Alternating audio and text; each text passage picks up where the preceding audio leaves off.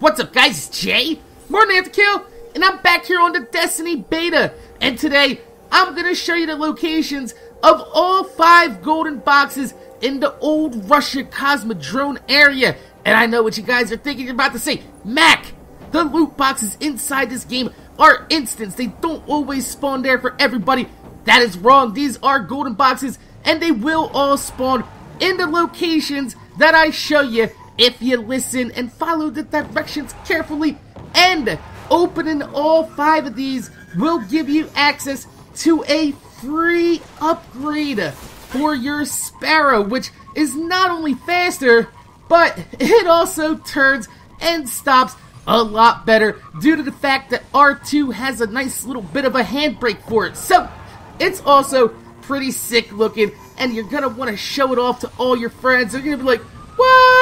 No way! Where the fuck did you get that Sparrow, man? Especially if you're the first person to have it on the Xbox version when that launches in just a couple days. So, the first three golden boxes only spawn during story missions, and I'm going to show you how to get them in sequential order. And these are actually pretty easy to find since, well, they're not very well hidden to be honest.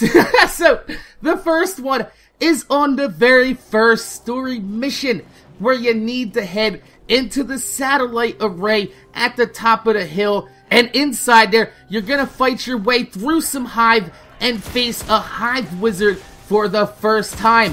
If you just follow your ghost's objective marker until you find a wizard, then you're pretty much gonna be able to find this. But after you beat the wizard, you have 20 seconds to jump on the top of this rusty shack and grab golden chest number one and grab yourself a little bit of that glimmer and some loot. So the second one is on, yeah, the second story mission.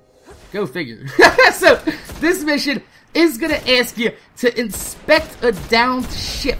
If you continue on the mission objective until you go inside this building, and then you just, it's kind of right there, just sit, sitting on the table, but Make no mistake about it.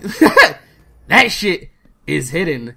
And the third and final story box was actually shown to me while doing the Devil Strike raid with my buddies Red Hamu SLA and Silent Core. Their links will be in the description down below. They both do YouTube and they will both be covering Destiny. And you'll probably be hearing a little bit more from them because I like playing with them. Kind of fun to play with. Ooh yeah. No, no, no. We're not getting all nice and deep like today. so, if you just do the Devil Strike Raids mission, when you reach the final boss, he's gonna be a big ass purple ball of death. Actually, he's a servitor. He's named like Septic Tank Prime. so, when you first reach him, he's gonna have a white shield around him. Don't shoot him! He's immune. It doesn't hurt him. You can just keep pumping all those bullets you want. You're just wasting ammo. Instead, you might as well just go downstairs and on the right hand side, there's gonna be golden box number three.